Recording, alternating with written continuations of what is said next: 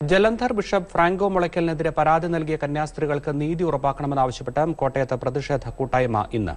Save അവർ sisters ഫോറത്തിന്റെ രണ്ടാം ഘട്ട സമരത്തിന്റെ ഭാഗമായി ഉച്ചയ്ക്ക് രണ്ട് മണിക്കാണ് കൺവെൻഷൻ. കന്യാസ്ത്രീകളെ സ്ഥലം മാറ്റാനുള്ള തീരുമാനം പിൻവലിക്കുക ഫ്രാങ്കോ മുളയ്ക്കലിനെ ബിഷപ്പ് സ്ഥാനത്ത് നിന്ന് തരം താഴ്ത്തുക എന്നിവയാണ് പ്രധാന ആവശ്യങ്ങൾ. കുറവിലങ്ങാട് മഠത്തിലെയും കന്യാസ്ത്രീകൾ അടക്കമുള്ളവർ സമരത്തിൽ പങ്കാളികളാകും.